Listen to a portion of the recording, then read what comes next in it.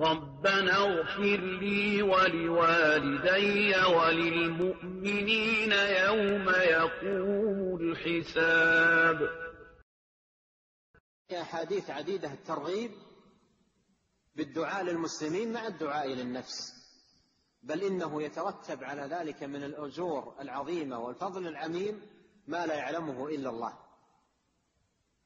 ولو كان في الوقت سعة لوقفنا على نماذج من الأحاديث في هذا الباب كقوله عليه الصلاة والسلام من استغفر للمسلمين والمسلمات كان له بكل واحد منهم حسنة.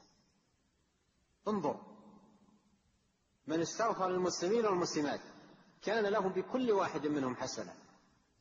أتدري كم حسنة تحصل؟ إذا قلت في دعائك اللهم اغفر للمسلمين والمسلمات والمؤمنين والمؤمنات الأحياء منهم والأموات كلمة لا لا تبلغ سطرا واحدا. كم كم كم من الأجر تحصل؟ عد من آدم إلى أن يرث الله الأرض ومن عليها. كل مسلم لك به حسنة. ملايين الحسنات.